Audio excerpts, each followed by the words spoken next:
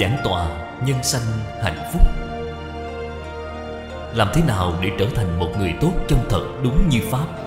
Người giảng thầy giáo Thái Lệ Húc Số 1 tổ tiên xa xưa 4.500 năm trước, Giáo dục con cháu của họ như thế nào?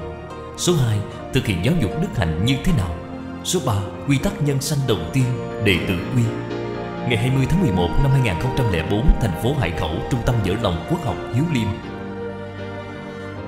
Tập 12 Các vị bằng hữu, Xin chào mọi người. Chúng ta đã bàn đến việc từ bốn góc độ Và có thể đưa ra phán đoán Rốt cuộc có phải là tình yêu thương chân thật hay không? Có phải là sự quan tâm chân thật hay không? Chúng ta ôn tập lại một chút. Thứ nhất, Cảm giác của tình yêu thương Là ấm áp. Ngôn ngữ của yêu thương là chánh trực. Tâm địa của yêu thương là vô tư. Hành vi của yêu thương là thành toàn. Khi tôi giảng ở Hàng Châu, Có một vị nói, Thầy Thái à Chỗ này cần phải thêm một điều nữa. Tôi rất quan hỷ vì anh đã đóng góp ý kiến cho tôi. Anh nói phải đem thêm vào một điều nữa là Hiếu học sách thiện, Hiếu học sách thánh hiền. Điều này rất là quan trọng, Bởi vì nếu không học sách thánh hiền thì những thái độ như vậy có thể học được hay không? Có thể học được cách đem lại sự ấm áp cho người khác hay không? Có thể học được tâm địa rộng rãi vô tư hay không? Sẽ học không được. Cho nên những thái độ này Vẫn là cần phải thông qua Giáo huấn của Thánh Hiền Thì mới có thể trồng xuống được cái gốc. Chúng ta xem đến những điểm này, Có thể tự mình suy nghĩ Bản thân có dùng cái phương pháp như vậy có dùng thái độ như vậy Để đối đãi với người hay không? Cái gì bằng hữu? Đây là vấn đề rất đáng để suy nghĩ. Tiếp đến là bên cạnh chúng ta, Có những người bạn như vậy hay không? Có người thân như vậy hay không? Giả như đều là, Đều không có, Vậy thì ta thật là đáng thương. Nhưng mà đều không có là kết quả. Nguyên nhân là do đâu? Nguyên nhân vẫn là phải xem là chính mình. Thánh Hiền Nhân nói, Yêu thương người, Thường được người yêu thương lại. Kính trọng người, Thường được người kính trọng lại. Cho nên khi bạn thật sự biết yêu thương người, Thì có thể khiến cho người quan tâm lại bạn, Thì mới có thể khơi dậy Sự tuần hoàn tốt đẹp giữa con người với con người. Vì thế muốn yêu cầu người thân, Bạn bè yêu thương nhau, Trước tiên Yêu cầu chúng ta phải biết yêu thương người khác.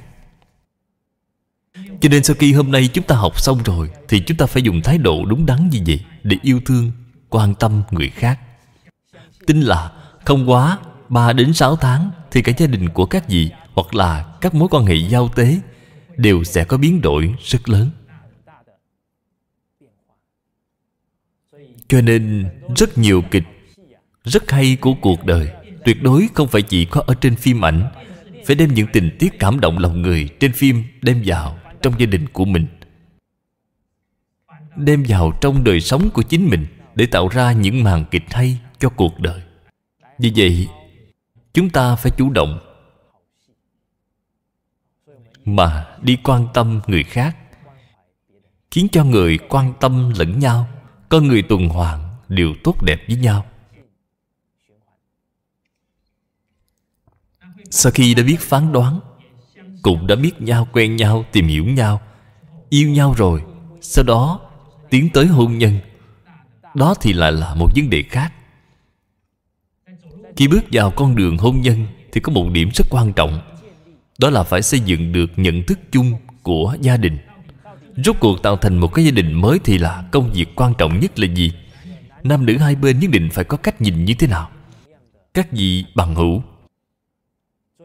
Các vị cảm thấy trong gia đình Thì việc nào là việc quan trọng nhất? Rất nhiều người nói, Đó là kiếm tiền. Là kiếm tiền, Vì không có tiền thì làm gì cũng không được. Rất nhiều gia đình rất có tiền, Nhưng mà trong gia đình lại xào xáo, Không yên, Có hay không? Có. Chúng tôi đã tiếp xúc qua rất nhiều doanh nghiệp. Có một số doanh nghiệp Thì họ cũng rất có thiện căn rất lương thiện. Doanh nghiệp của họ cũng làm được rất tốt. Chúng tôi thường thường có cơ hội ngồi lại trò chuyện với nhau. Họ nói, Những doanh nghiệp đó của chúng tôi nghèo đến nỗi Chỉ còn lại có tiền mà thôi. Cho nên đích thực là nhân tâm không biết cách đối đãi với người ra sao. Đến sau cùng thì nội tâm sẽ rất trống rỗng. Thậm chí là ngay cả con cái của mình Mà cũng không thể thương lượng được. Đây chính là cách tổ chức cuộc sống rất đổi sai lầm. Cho nên một cái gia đình thì nhận thức chung quan trọng nhất Chính là dạy dỗ tốt cho con cháu. Có câu, Có gì quan trọng Bằng việc dạy con?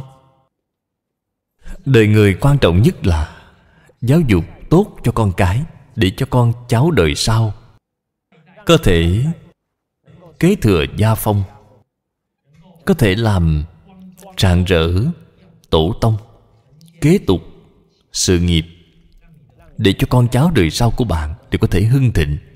Vì vậy, việc dạy dỗ cho thế hệ sau của bạn là một việc lớn. Không những việc quan trọng nhất Của một gia đình Là dạy dỗ tốt cho con cái, Mà ngay cả một đất nước thì việc quan trọng nhất cũng chính là giáo dục tốt cho thế hệ tương lai. Ai cũng đều không muốn đất nước của mình. Khi truyền đến thế hệ kế tiếp thì tiêu vong giả như truyền đến họ mà tiêu vong thì họ có lỗi với ai? Có lỗi với liệt tổ, liệt tông, có lỗi với con cháu đời sau. Họ đều không muốn tổ tông của trách, càng không muốn con cháu đời sau mắng họ. Vì thế ngày xưa, Hoàng đế vừa đăng cơ Thì làm việc gì trước tiên gì Là lập thái tử, Có thể thấy một đất nước, Một triều đại thì đối với việc Có người kế thừa là một sự việc được xếp lên hàng đầu. Cho nên hoàng đế ngày trước Đều là mời về những người học trò, Có học vấn tốt nhất trong cả nước, Để mà dạy cho con cháu của họ. Bạn không nên ngưỡng mộ, Người làm hoàng tử, hoàng tôn Thì nhất định là sẽ có cuộc sống rất sung túc. Kỳ thực không phải, Họ đều là phải thức dậy để đọc sách Khi trời còn chưa sáng. Bởi vì họ phải kế thừa một triều đại, Thì phải có học thức. Thật là phong phú Thì mới được. Cho nên một đất nước mà đều biết Xem trọng sự giáo dục Cho thế hệ con cháu đời sau, thì đương nhiên một gia đình cũng phải xem trọng giáo dục. Một con người thật sự có được số mạng trung niên và cuối đời tốt hay không, thì mốt chốt xem ở đâu. Mốt chốt ở chỗ bạn có dạy dỗ con cái tốt hay không. Giá như vợ chồng hai người đều là có địa vị trong xã hội, cuộc sống trong gia đình cũng rất sung túc. Nhưng mà con cái bởi vì thất học, ở bên ngoài ăn chơi liêu lỏng, thậm chí là cha mẹ ở trong nhà, cũng không biết được ngày hôm nay rốt cuộc chúng lại làm ra sự việc gì đây nữa. Những người cha mẹ như vậy Thì những năm tháng cuối đời, Sống có dễ dàng hay không? Điều đó là không thể. Nhưng có rất nhiều người đến khi trung niên Thì mới phát hiện là điều gì? Là ta đã tổ chức trọng điểm cuộc sống gia đình. Bị sai về việc sắp xếp Cái quan trọng và cái thứ yếu. Không có đem việc giáo dục cho con cái Để xếp lên hàng đầu. Nhưng mà về lúc này đã hối hận Thì đã không kịp nữa rồi. Cho nên hối hận Hối hận đều là về sao Thì mới hối hận.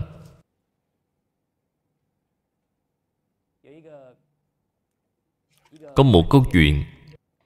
Có một đứa trẻ được cha mẹ nuông chiều từ bé.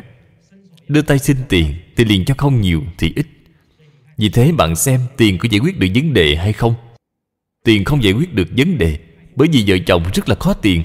Con cái chỉ cần xin bao nhiêu Thì đều đưa.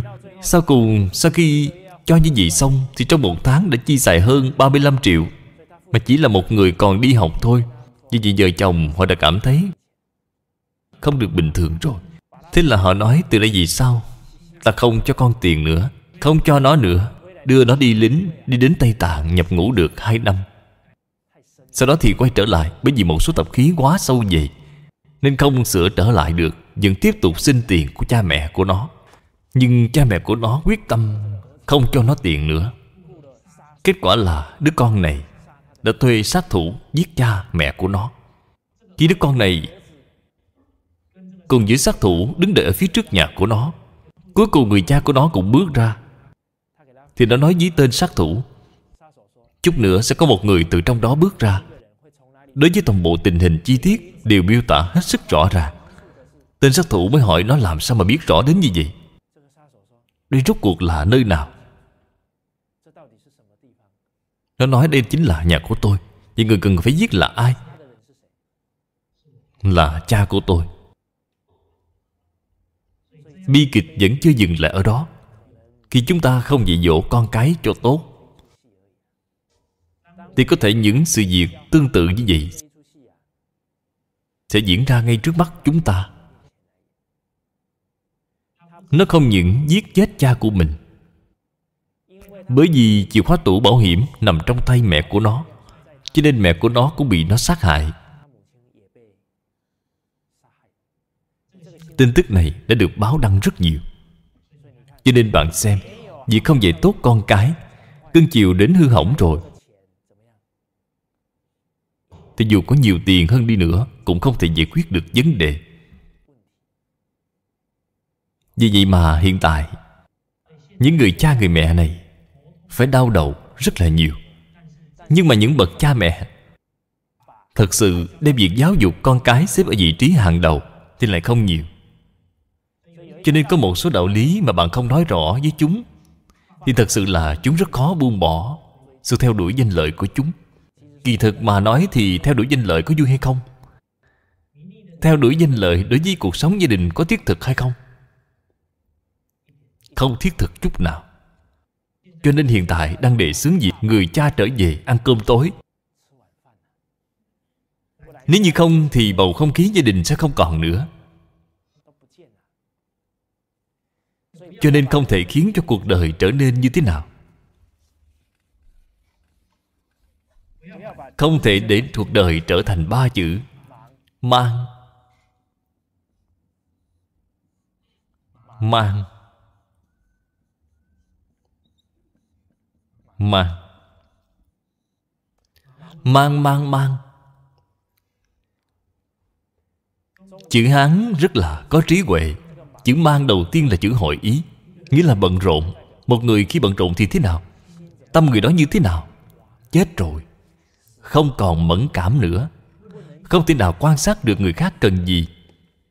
Cho nên con người một khi bận rộn, thì đầu óc cũng không tỉnh táo. Thậm chí là có lúc bận đến nỗi đột nhiên định thần lại thì ồ, đã một tháng rồi sao? Ồ, con tôi đã mấy tuổi rồi? Bận đến hỏng cả việc. Có một người tiều phu có một người tiều phu mỗi ngày đều đi đốn củi. Lên núi đốn củi, Xuống núi bán củi. Cứ lên núi đốn rồi xuống núi bán. Cứ như vậy trải qua rất nhiều năm. Ngày tháng của anh cứ như vậy. Có một ngày, anh đi đến một cái cây lớn ngồi dưới gốc cây, Để nghỉ ngơi. Ngồi ở đó, Bỏ bó củi của anh xuống. Ngồi xuống nghỉ, Người bạn đi cùng anh, Đi đến liền nói với anh. Đi thôi đi thôi, Mau mau lên đường thôi. Người bạn đó của anh hối thúc anh, Mà nói đi thôi lên đường thôi Anh nói với người bạn của mình, Đợi một chút đã Tôi còn phải đợi hồn của tôi theo kịp tôi cái đã Các vị bằng hữu, Chúng ta sống trong một cuộc đời bận biệu như vậy Xin hỏi là linh hồn có còn theo kịp chúng ta hay không? Chúng ta có nhận thức được rõ ràng là Mỗi ngày chúng ta đang làm những gì hay không? Cho nên bận rộn đến sau cùng Thì cuộc đời thật sự lại cảm thấy đã sống không còn thiết thực nữa. Nghe nói Thành Long có một lần Rất là hớn hở muốn đi đón con đi học về. Chạy đến trước cửa trường học Đợi cả buổi trời mà không thấy con đâu. Sau đó đúng lúc gặp được một vị giáo viên cũ của con anh. Vị giáo viên ấy nói với anh, Con của anh đã lên trung học rồi, Anh còn đến trường tiểu học để đón sao? Cho nên bạn xem, Bận rộn đến sau cùng. Cũng mù mờ luôn mờ mắt. Bận đến sau cùng sẽ không còn cảm thấy người thân đang cần gì, không còn nhìn thấy được cảm nhận của người thân. Cho nên có rất nhiều người khi đến tuổi trung niên, mối quan hệ vợ chồng lại xảy ra vấn đề. Con cái cũng không thể hiểu được họ họ cũng không biết rõ được tình hình. Bởi vì quá bận rộn rồi. Tất cả những điều mắt thấy tai nghe đều bị che mờ cả. Khi cuộc đời của họ tiếp tục trôi đi như vậy Dốc hết sức lực suốt mấy mươi năm. Kết quả là gia đình cũng không được êm ấm. Thân thể cũng không được khỏe mạnh. Thế là họ liền cảm thấy cả đời mình dốc sức Cố gắng đến như vậy mà sao lại thành ra như vậy? Thực sự là trong tâm cảm thấy rất bế tắc. Rốt cuộc thì cuộc đời phải sống như thế nào mới được? Vì vậy cuộc đời không thể đi theo kiểu bận rộn mù mờ Bế tắc như thế này. Phải sống sao cho thông suốt, minh bạch? Đi mỗi bước cuộc đời sao cho thiết thực? Cho nên muốn cho gia đình có thể hạnh phúc mỹ mãn Thì tuyệt đối không phải là chuyện ngẫu nhiên.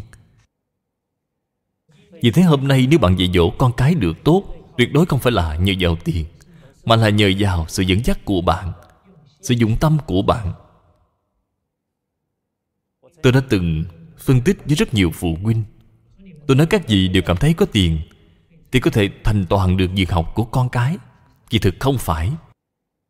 Tôi liền phân tích với họ Tôi quan sát thấy được trong lớp Có những em được học thêm. Ví dụ như có 10 em, Trong đó có 5 em được học thêm. Còn lại 5 em không được học thêm, Bạn xem thành tích của ai? Thì tương đối tốt. Chúng ta phân tích tỉ mỉ, Những em được học thêm. Chỉ nhìn thấy những gì hôm nay học?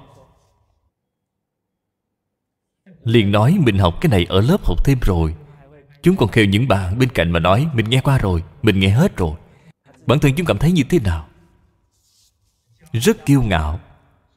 Cho nên khi lên lớp học, dần dần sẽ thiếu đi sự chuyên tâm. Một đứa trẻ từ nhỏ mà đã không chuyên tâm, thì vì sao cầu học vấn sẽ có sự sai sót rất lớn?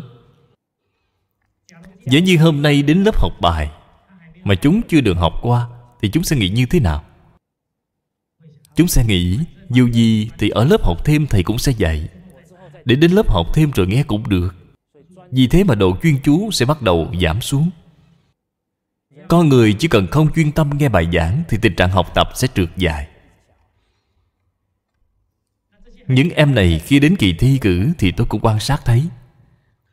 Trước lúc thi một hai tuần lễ thì thấy các em cứ ôm lấy một sách giấy.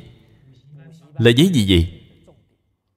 Là lớp học thêm để giúp soạn ra các trọng điểm. Đó là một điển hình của việc nước đến chân mới nhảy. Chỉ lo học những gì thầy dạy thêm đã soạn sẵn. Sau khi đã thi xong, tôi nghĩ rằng có thể không tới một ngày thì chúng đã trả hết lại cho thầy rồi. Mà những em khác không có học thêm thì khi lên học đều rất chuyên chú. Sau đó, tất cả những bài khóa phải ôn thi thì chúng tự mình sẽ ghi chú, đánh dấu lại. Tự mình soạn ra bởi vì tự mình soạn ra, cho nên tất cả những phương pháp kỹ xảo sẽ dần dần được tích lũy trở lại. Cho nên mà người tốn tiền lại khiến cho con cái không chuyên chú, khiến con cái phải vừa dẫm vào thầy cô dạy thêm. Mà lại không có rèn luyện được cái năng lực học tập cho mình. Còn những người không đi học thêm thì ngược lại học hành rất tập trung và lại còn biết cách học tập như thế nào. Những đứa trẻ như thế Chỉ cần từ tiểu học Mà bước lên trung học cơ sở thôi, Thì thành tích sẽ có khác biệt rất lớn. Đây cũng là Một kinh nghiệm của bản thân tôi. Bởi vì khi tôi học tiểu học Cũng không có học thêm. Kết quả là khi lên trung học cơ sở Thì thành tích của các bạn liền kém xa tôi. Cho nên việc giáo dục con cái Vẫn là cần phải bản thân bạn kèm cặp chúng học tập. Cha mẹ hiện nay không những là không có chăm sóc cho con cái, đem trách nhiệm chăm sóc con cái đẩy lại cho những người thay thế cha mẹ.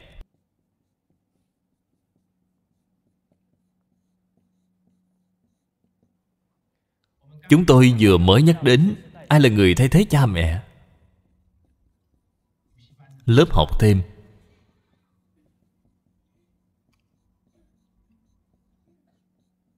Mà lớp học thêm, thì rất khó rèn luyện năng lực và thái độ học tập cho trẻ. Cho nên tốn tiền nhưng chưa chắc hữu dụng. Tiếp đến thứ hai là bảo mẫu. Giao cho người bảo mẫu làm mẹ luôn. Mà bảo mẫu thì có người tiếng phổ thông, nó còn chưa rành. Tiếng phổ thông, nói còn chưa rành. Rất nhiều người mời những cô vợ người Indo, Mời cô vợ người Thái Lan Hoặc là bảo mẫu người Indo. Bảo mẫu người Thái Lan. Như vậy thì con cái sẽ trở nên như thế nào? Bởi vậy mà hiện tại năng lực ngôn ngữ của thế hệ sau Càng ngày càng thấp. Đó là do cha mẹ không dạy Mà lại giao lại cho ai vậy? Giao lại cho bảo mẫu. Bảo mẫu có biết dùng thái độ của một người mẹ Để dạy dỗ con cái hay không? Sẽ không. Vậy dùng thái độ như thế nào? Họ dùng thái độ của một người giúp việc. Vậy thì họ sẽ nghe theo trẻ mọi việc. Cho nên trẻ con sẽ ý được cưng chiều mà kiêu ngạo. Rất nhiều trẻ nhỏ được bảo mẫu chăm sóc.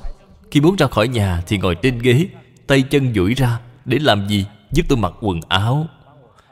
Giúp tôi mang vớ, Mang giày vào Ngay cả năng lực cơ bản của cuộc sống cũng không đủ.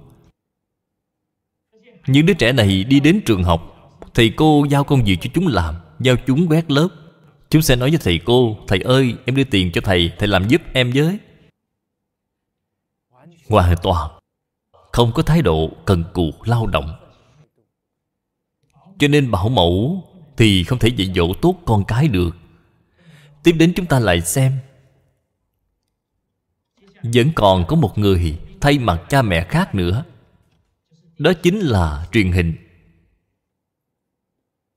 Máy vi tính Con cái vừa tăng học thì đã được giao lại cho ai?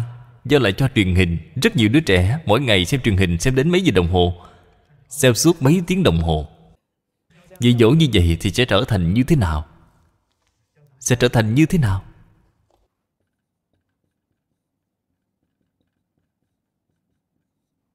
Trong truyền hình máy vi tính, Rất nhiều đều là Nội dung, bạo lực và sắc tình. Cho nên trẻ con hiện nay tính khí có tốt hay không? Rất nhiều Đều có xu hướng bạo lực.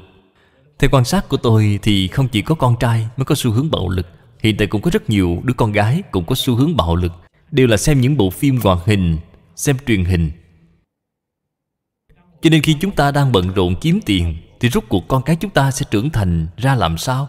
Phải cân nhắc suy nghĩ cho thật kỹ cho nên chăm lo cho con cái là vô cùng quan trọng. Vì thế mà nhấn mạnh Phu phụ hữu biệt Là vợ chồng có khác biệt. Các vị bằng hữu khác biệt ở chỗ nào? Khác biệt Ở chức trách. Bổn phận trách nhiệm của mỗi người không như nhau. Chúng ta thường nói là Nam chủ ngoại, Nữ chủ nội. Bởi vì Một gia đình thì có hai công việc quan trọng nhất. Một việc là Vấn đề kinh tế, Phải có kinh tế để mà duy trì một gia đình. Ngoài ra vì mặt tinh thần Thì có dạy dỗ con cái Là hai công việc trọng điểm này. Cho nên người xưa, Người nam thì phụ trách về mặt kinh tế, Người nữ thì phụ trách về mặt tinh thần. Phụ trách về việc dạy dỗ con cái Đã phân chia, phân biệt rõ ràng. Vợ chồng đôi bên tận tâm tận lực Và biết ân lẫn nhau Bởi vì có người chồng bên ngoài Nỗ lực làm việc Thì gia đình mới có thể không lo lắng. Mà bởi vì có người vợ ở nhà giúp chồng dạy con Mới có thể khiến cho người chồng không có nỗi lo gì sao mới có thể khiến cho gia tộc có người kế tục. Bởi vậy, người xưa đã phân chia rất rõ ràng. Hiện nay có rất nhiều người nói, giá như vợ chồng không cùng nhau đi kiếm tiền thì sẽ không đảm bảo được về mặt kinh tế. Các vị bằng hữu? Các vị cảm thấy câu nói này có đạo lý hay không? Hiện tại thời đại này, rất nhiều lời nói nghe ra có vẻ như là rất có đạo lý. Sự thật thì bạn suy nghĩ cho tỉ mỉ chưa chắc là có đạo lý. Bạn kiếm được nhiều tiền hơn đi nữa cũng không mang theo được, mà việc giáo dục cho con cái thì ảnh hưởng đến cả một đời chúng. Vậy thì chúng ta suy nghĩ lại một chút, cha mẹ chúng ta ngày trước có phải là có rất nhiều tiền hay không? Không có. Nhưng mà lại dạy ra được rất nhiều người con hiếu thảo. Dạy ra được rất nhiều người con chịu thương, chịu khó. Mà hiện nay, có nhiều tiền đến như vậy mà cuối cùng như thế nào? Đã nuôi dạy ra rất nhiều những đứa con siêng ăn nhát làm. Thậm chí là còn không biết tri ân một ai. Cho nên rốt cuộc là có tiền thì tốt hay không có tiền thì tốt. Do gì trong gia đình cuộc sống có thiếu thốn một chút, trái lại đã khiến cho con cái cảm thấy cha mẹ cũng vô cùng vất vả để nuôi dạy con. Người cha lại rất vất vả kiếm tiền, cho nên chúng niệm niệm đều biết ân đối với cha như vậy đời trước của chúng ta, vì sao mà học hành chăm chỉ đến như vậy? Vì sao mà làm việc siêng năng đến như vậy? Vì niệm niệm đều nghĩ đến cha mẹ vất vả đến như vậy, ta phải báo đáp công ơn của cha mẹ. Cho nên họ từ nhỏ đã có cái chí hướng này, không để người khác phải bận tâm việc học hành, công việc cũng làm tích cực chăm chỉ. Cho nên trong họa có phước. Người hiện nay tiền rất nhiều, thì lại trong phước có họa trẻ nhỏ ngược lại, từ nhỏ đã xài tiền phung phí, bởi vì bạn không có thời gian để ở cùng với chúng. Cảm thấy có lỗi với chúng, nên chúng cần cái gì thì bạn liền mua cho chúng cái đó. Mà cái dục vọng này hãy mở ra, thì không có cách nào lấp đầy được. Bạn ngày ngày làm việc gì cũng dùng tiền để giải quyết Vậy chúng có cảm thấy bậc làm cha mẹ vất vả hay không?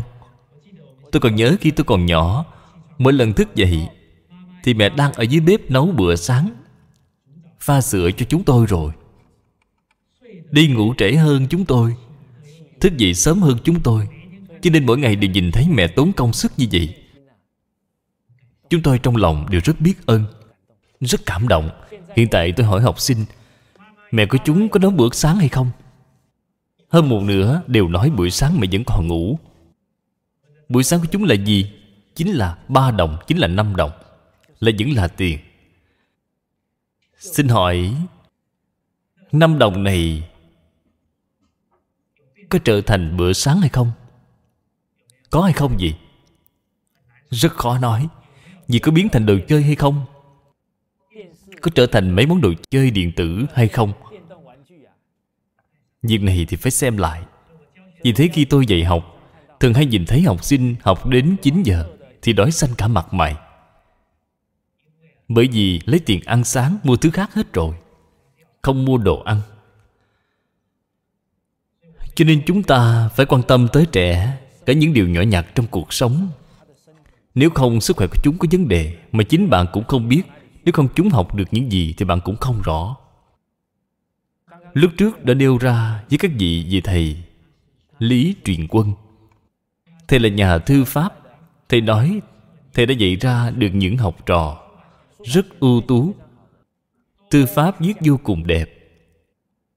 Đều không phải là gia đình có nhiều tiền Đều là do cha mẹ biết bầu bạn, Với con cái học tập. Những học sinh như vậy thì học tập rất tốt. Cho nên rất nhiều trẻ con năng lực, tài hoa của chúng đều là nhờ cha mẹ quan tâm, chăm sóc mà ra. Điểm này rất quan trọng.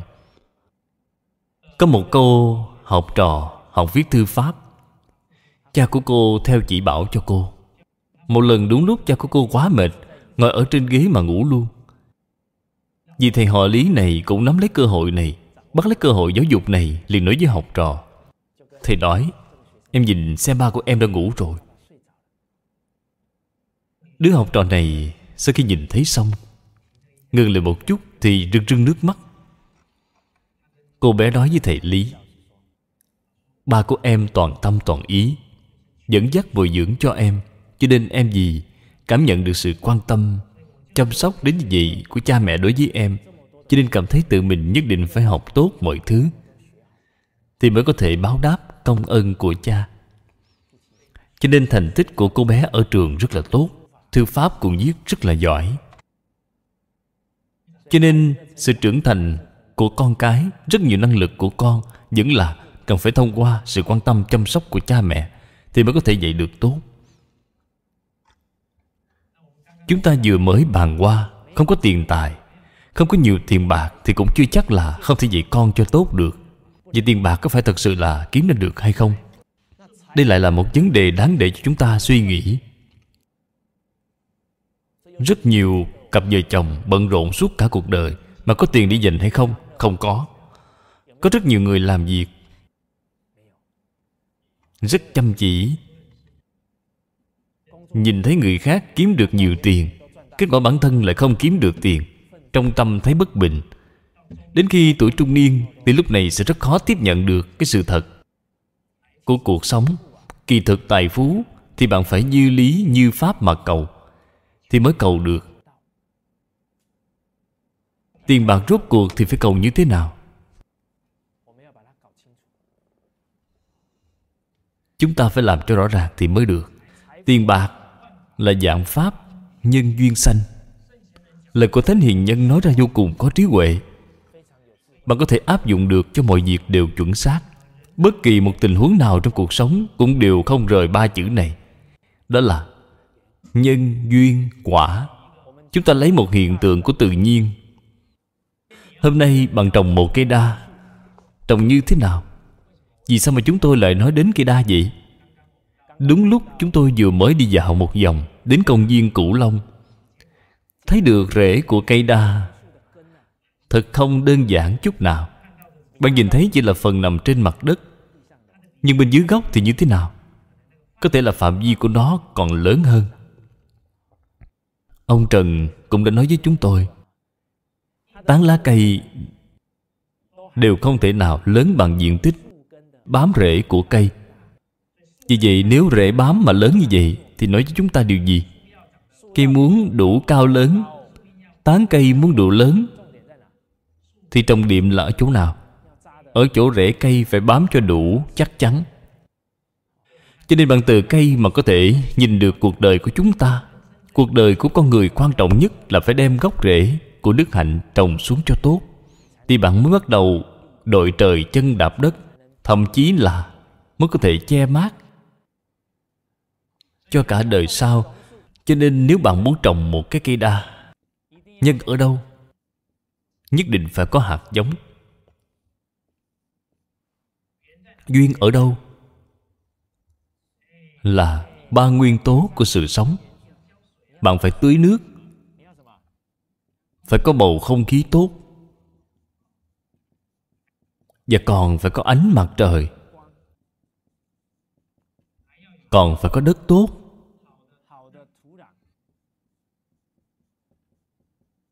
Bạn mà đem hạt giống trồng ở sa mạc Thì có mọc lên được hay không? Đây là duyên Thì mới có thể mọc lên thành một cây đại thụ được. Là một cây đa lớn. Không có hạt giống. Dù có nước, ánh sáng và không khí tốt nhất trên thế giới Thì có tác dụng gì không? Có mọc lên được hay không?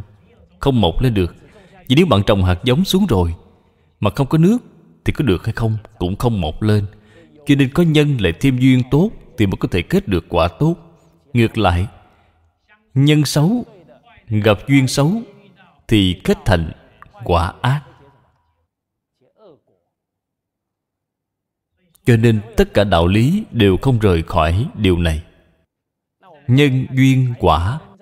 Chúng ta hãy xem trở lại, Nhân của tiền tài là ở đâu? Nhân thật sự nằm ở đâu? Ở bố thí tiền tài. Đúng vậy, Bạn phải trồng hạt giống, Thì vì sao Nó sẽ lớn lên thành tiền tài?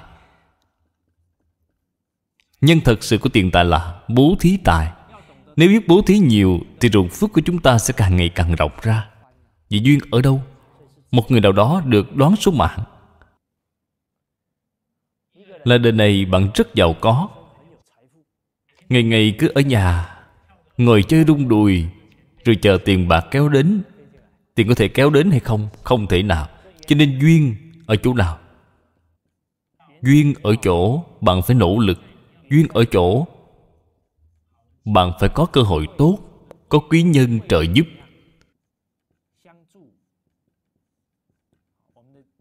Sau khi chúng ta đã có đủ những duyên này, Thì bạn liền có thể có kết quả là tiền tài. Chúng tôi cũng nhìn thấy rất nhiều người bạn. Họ làm người cũng rất rộng rãi. Công việc đổi tới đổi lui cũng không ít, Nhưng mà trước giờ tiền bạc không hề thiếu thốn.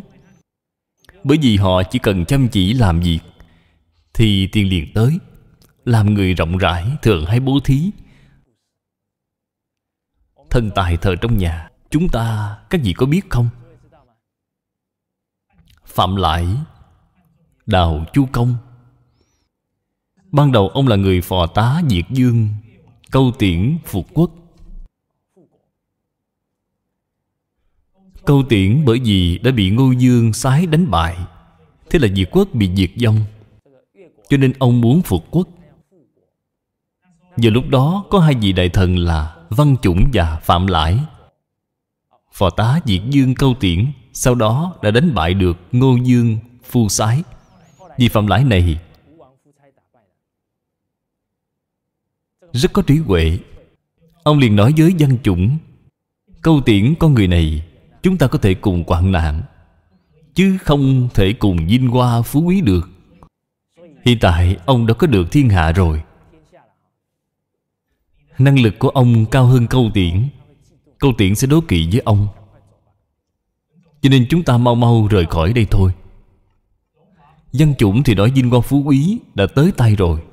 Sao lại có thể bỏ đi như vậy? Cho nên ông không chịu đi. Phạm Lãi liền dắt Tây Thi đến Giang Nam làm ăn kinh doanh. Văn Chủng ở lại không được bao lâu Thì đã bị câu tiễn ban cho cái chết. Bảo ông phải tự mình tự sát. Cho nên việc nhìn người rất quan trọng. Phạm Lãi dắt theo Tây Thi Đến vùng Giang Nam Và bắt đầu làm ăn buôn bán. Bắt đầu từ việc làm ăn nhỏ không bao lâu thì giàu lên rất nhanh, Liền đem tiền bạc bố thí hết. Cho những người bần cùng nghèo khổ, Sau khi đem bố thí hết như vậy, Thì lại bắt đầu bằng việc làm ăn nhỏ trở lại.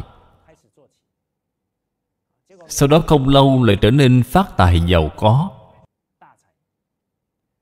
Sau đó ông lại đem tiền Đi bố thí tiếp. Trong sự sách có ghi chép Ông ba lần tụ tài, Ba lần tán tài. Đây thật sự là một vị thánh hiền nhân, Hiểu được cái nhân thật sự của tài phú. Cho nên khi ông vừa đem cho hết, Nhưng do ông đã trồng cái nhân bố thí, Chỉ cần ông tiếp tục nỗ lực Thì lập tức tiền tài lại đến. Cái gì bằng hữu?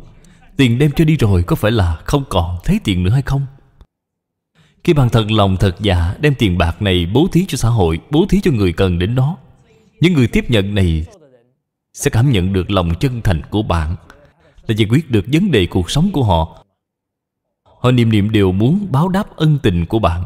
Cho nên thí dụ như Bạn bán bánh màn thầu ở nơi này, Họ dù ở rất xa Nhưng như thế nào? Dù đi bao xa thì cũng đến nơi này Để mua bánh của bạn. Bạn bố thí ân huệ những ân huệ này người ta niệm niệm đều muốn báo đáp. Cho nên chỉ cần bạn có cơ hội làm việc Người ta đều sẽ đến để giúp đỡ bạn Cũng sẽ có rất nhiều người toàn tâm toàn ý. Những cán bộ vì bạn mà phụng hiến cũng sẽ xuất hiện. Cho nên con người cần phải biết nghĩ cho sâu, nghĩ cho xa Thì bạn mới không vì cái nhìn thiển cận Và vì lợi ích trước mắt. Cho nên Phạm Lại đã ứng chứng cho chúng ta là Bố thí tài Thì được tài phú. Chị của tôi bởi vì trong thời gian mang thai, Chúng tôi thường xuyên liên lạc, Cho nên chị ấy cũng nhìn thấy Được việc giáo dục con cái là đặc biệt quan trọng. Cho nên chị cũng đã từ bỏ công việc của mình. Chị là nhân viên công vụ Vì từ bỏ công việc này Như là đem chén cơm sắt này như thế nào? Rất nhiều người đều khuyên chị không nên nghỉ việc. Thậm chí là mẹ chồng của chị Cũng khuyên chị không nên nghỉ việc. Có nên nghỉ việc hay không? Đời người mà biết cách thủ xã mới là trí huệ. Sau đó sau khi Chị đã nghỉ việc lúc vẫn chưa sanh, Thời gian khi vẫn còn chưa sanh con Thì ở tại nhà chúng tôi Để đợi đến ngày sanh. Tôi vẫn thường xuyên nói chuyện với chị Về những quan niệm giáo dục này. Còn giảng dạy với chị Về một số kinh sách của chúng tôi. Cho nên đứa cháu gái này của tôi sinh ra rất là thú vị khi nó mới sinh ra vừa nghe thấy tiếng của tôi Thì lập tức cặp mắt của nó liền quay sang. Chắc là nó đang nghĩ cái người này lắm lời, Sao lại xuất hiện nữa rồi? Vì khi đó chưa sinh ra Thì đã thường hay nghe tôi nói chuyện rồi. Cho nên chắc nó rất quen thuộc với giọng nói của tôi. Đứa trẻ này sinh ra Vì của tôi còn trong tháng Thì ở tại nhà chúng tôi. Khi chị tôi còn chưa sinh con Thì việc trong nơm sức khỏe của chị Các gì đoán xem, Ai giúp chị việc đó vậy? Là chính tôi giúp chị. Bởi vì có tri thức thì mới có năng lực. Cho nên sau khi chị sinh xong thì mỗi ngày tôi còn làm nước ép trái cây cho chị dùng. Nước trái cây này còn phải là ba loại trái cây và ba loại rau củ. Lại còn bỏ thêm hoàng tố, lecithin và men bia. Bỏ thêm những thứ dinh dưỡng này vào cùng xây lên. Chúng tôi gọi nó là món canh sinh lực. Uống vào xong thì sẽ có rất nhiều sinh lực. Đây là ở cử trong tháng tại nhà tôi. Ở trong quá trình này thì chị tôi đều chỉ dùng sữa mẹ để cho bé bú. Kết quả là mẹ chồng của chị liền nói Chỉ bú sữa mẹ thì không đủ dinh dưỡng. Liền bảo chị, Cần phải thêm vào những thứ bổ sung khác. Nhưng chị tôi Thì vẫn kiên trì Cách làm của chị, Nhưng cũng lựa lời mà giải thích với mẹ chồng của chị. Kết quả là trải qua Không quá nửa năm thì mẹ chồng của chị lại nói, Bú sữa mẹ thật là tốt Đều không thấy bị bệnh gì. Cho nên chúng ta làm rất nhiều việc. Khi mới bắt đầu thì nhất định sẽ có một số chướng ngại. Nhưng mà bạn thì nhất định phải kiên trì Thì rất nhiều kết quả tốt Sẽ dần dần hiển hiện ra. Đến lúc này thì thành quả sẽ nói thay lời bạn. Bởi vì chị tôi tự tay mình chăm sóc cho đứa trẻ. Cho nên hiện tại con của chị Một đứa 6 tuổi, một đứa 4 tuổi Không bệnh tật gì Thân thể khỏe mạnh. Tôi thường hay đi đến nhà của chị mà Phải bận mấy cái áo. Hai đứa trẻ thì chỉ mặc quần đùi Mặc áo ngắn Cứ chạy nhảy lung tung. Tôi nhìn thấy mà hổ thẹn Nếu có bị chảy nước mũi Bị cảm thì cũng không cần đi bác sĩ cũng không chích thuốc hay là uống thuốc. Chảy mũi chừng hai ngày thì khỏi sức đề kháng rất tốt. Rất nhiều người mẹ chăm sóc cho con cái. Chỉ cần vừa chảy nước mũi hay vừa hắt hơi thì như thế nào? Thì mau mau đưa tới bệnh viện. Không có trí huệ thật sự thì bạn không thể nào dạy tốt một đứa trẻ không thể nào chăm sóc tốt cho một đứa trẻ. Tôi thường hay vào mùa thu, mùa xuân Đi về lần ngang qua Khoa tai mũi họng. Tôi đều thấy được Từng hàng Từng hàng dài Xếp hàng gì vậy? Những người mẹ Đều ôm con. Có đứa còn chưa được một tuần tuổi, Đi đến bác sĩ khám. Tôi thấy mà, lo lắng thay cho họ. Bị cảm gì sao lại bị sốt vậy? Bị cảm gì sao lại bị chảy nước mũi vậy? Vì sao vậy? Bởi vì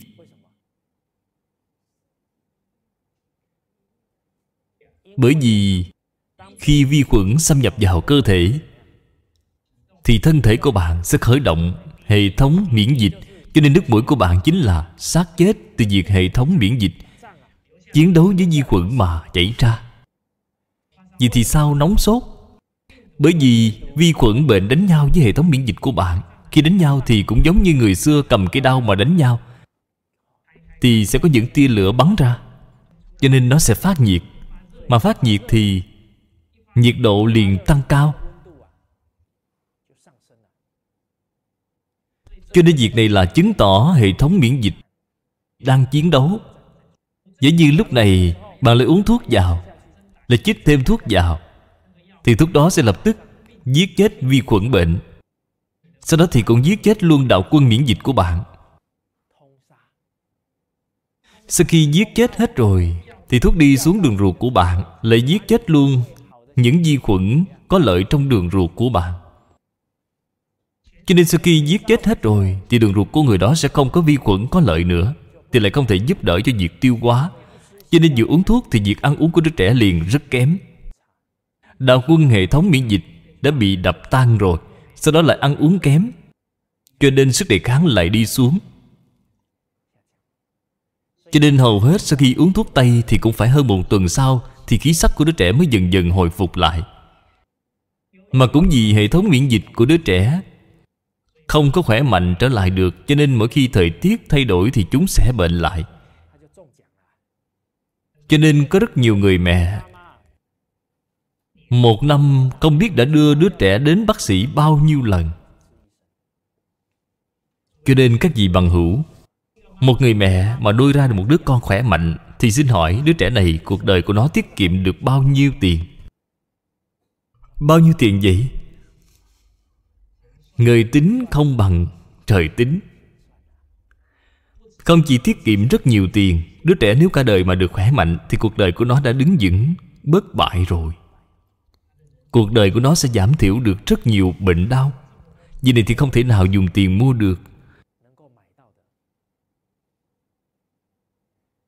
Cho nên khi bị cảm thì sốt, Chảy nước mũi là một hiện tượng bình thường. Chỉ cần bác sĩ xác định đó là bệnh cảm Thì chúng ta nên cho nó được chùm nước đá. Không để cho đầu nóng quá sẽ có hại. Sau đó để cho nó Được uống nhiều nước lọc, Thay cũ đổi mới, Thải ra ngoài một số độc tố.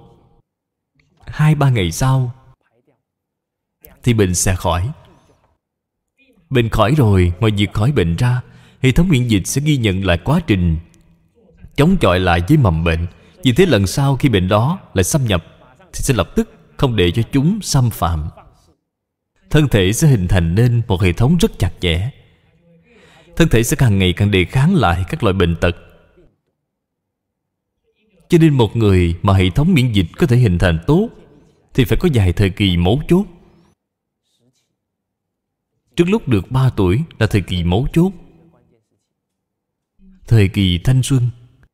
Khi đến tuổi dậy thì Cũng là thời kỳ mấu chốt.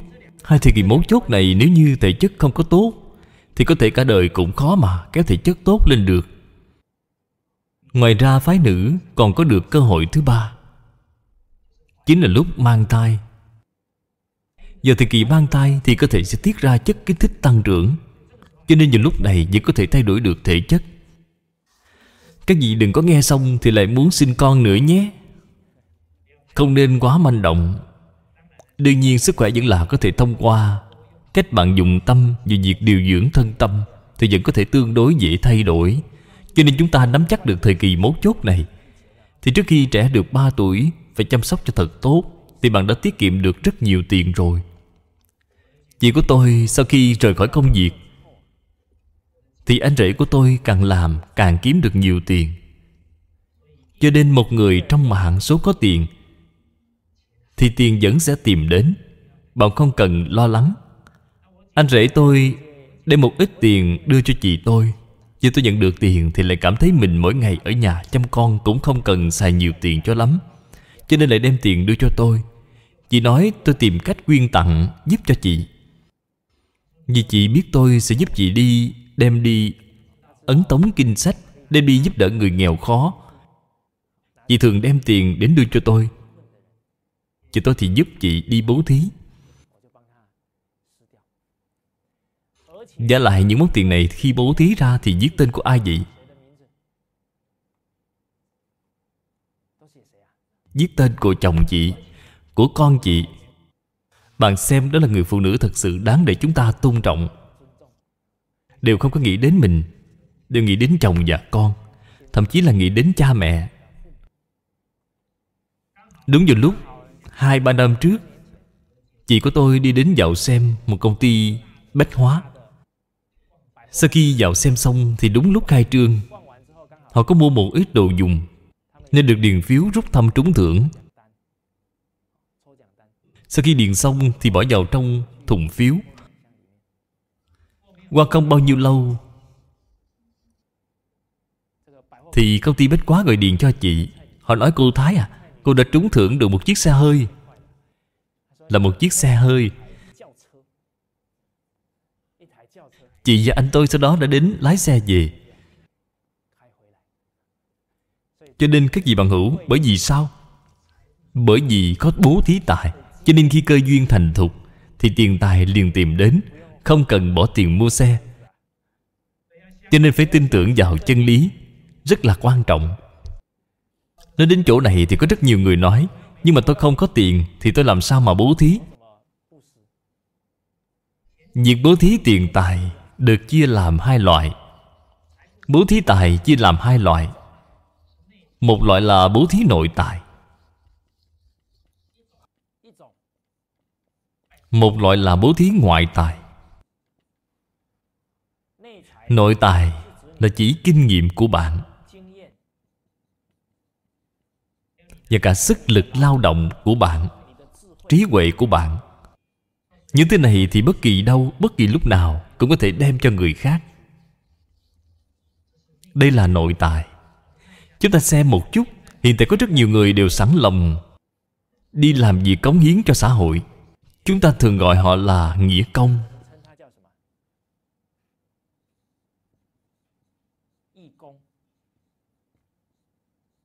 Dùng lao lực của họ Dùng kinh nghiệm của họ Dùng trí huệ của họ Để tạo phước cho đại chúng. Đây gọi là bố thí nội tài. Ngoài ra Thì tiền, tài vật thì mới gọi là bố thí ngoại tài. Xin hỏi các vị Là loại nào thì tương đối khó hơn? Hiện tại việc kêu gọi người khác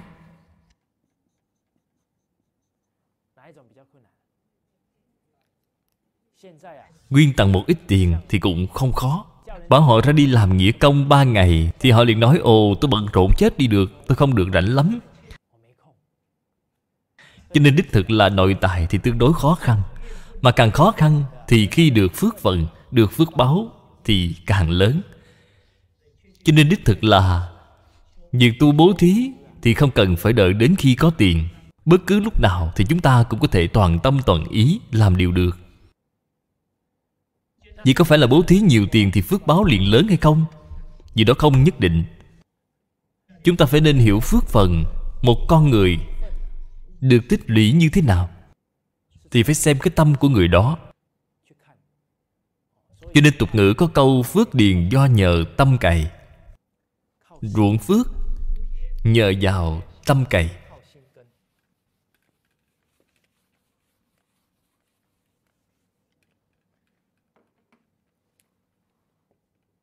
Phước phần của một người được bao nhiêu Thì quan trọng nhất là xem cái tâm. Có được từng giờ, từng khắc của họ. Tâm lượng của họ càng lớn Thì phước phần của họ sẽ càng lớn. Ngày xưa, Có một người phụ nữ, Đúng lúc Đi ngang qua một ngôi chùa. Cô đi vào chùa vô cùng thành kính lễ bái Phật sau đó đã lấy toàn bộ số tiền cô có là hai văn tiền, Cúng dường cho nhà chùa. Vị trụ trì này rất cảm động, liền đích thân đến để giúp cô cầu phước, Tụng kinh cho cô. Sau đó người phụ nữ này thật sự đã được vào cung vua hưởng phú quý, Được làm phi tử, Thì trở nên rất có nhiều tiền. Liền lấy đem theo mấy nghìn ngân lượng, Lại mang đến ngôi chùa này để mà cúng dường. Thế nhưng trụ trì lại không có đến. Chỉ có gọi người đầu đệ của ông giúp cô tụng kinh cầu phước. Người phụ nữ này cảm thấy rất kinh ngạc. Ngày trước chỉ cúng dường có hai văn tiền, Mà thì trụ trì đã giúp tôi tụng kinh hồi hướng cầu phước. Hiện nay thì quyên góp mấy nghìn lượng vàng Lại có thể chỉ bảo người đầu đệ đến giúp mà tôi. Chẳng qua người phụ nữ này rất có thiện căn, Tự mình đi tìm hỏi thầy trụ trì xem vì sao lại như vậy. Thầy trụ trì nói với cô Cô ngày trước Cúng dường hai văn tiền là thành tâm, thành ý. Cho nên phước phần rất lớn Nên tôi phải đích thân hồi hướng cầu phước cho cô. Còn mấy nghìn lượng hôm nay Thì tâm của cô lại không được chân thành như ngày trước. Cho nên chỉ cần đồ đệ của tôi đi giúp cô Cầu phước là được rồi. Cho nên phước phần của một người Vẫn là phải từ chân tâm của bạn Để mà cảm lấy Để cảm ứng. Được rồi Buổi học hôm nay chỉ tới đây thôi. Cảm ơn mọi người.